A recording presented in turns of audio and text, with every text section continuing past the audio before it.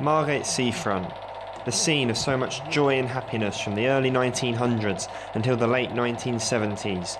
Every year, coachloads of people would arrive on the Thanet coastline from London and further afield to enjoy golden sands, amusements, and an escape from day to day working life.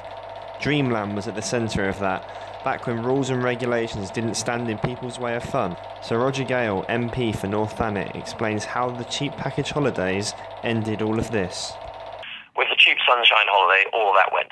Suddenly people could get on planes, fly to the Mediterranean, lie in the sun, have cheap beer, cheap food, and reliable weather. And that, in the 70s and 80s, undermined the whole seaside trade. Hotels and guest houses went into a downward spiral because they weren't getting enough punters. Margate's High Street, of course, died because the Labour administration at the time created Westwood Cross. Following this, Dreamland was shut down and burnt down, and things looked very bleak for the town. Its fortunes did begin to change though, when in 2011 the long awaited Turner Contemporary Centre opened, which has attracted over 2 million people to the area and contributed £41 million into the local economy through tourism since opening. Roger Gale explains more about the Turner Contemporary's effect on the local area.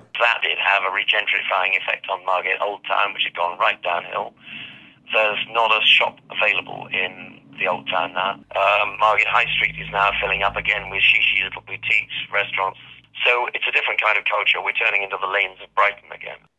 Four years later, another huge step was made in Margate's rejuvenation in October 2015, Dreamland reopened its gates for the first time in over a decade, and over 16,000 people visited the weekend before Christmas.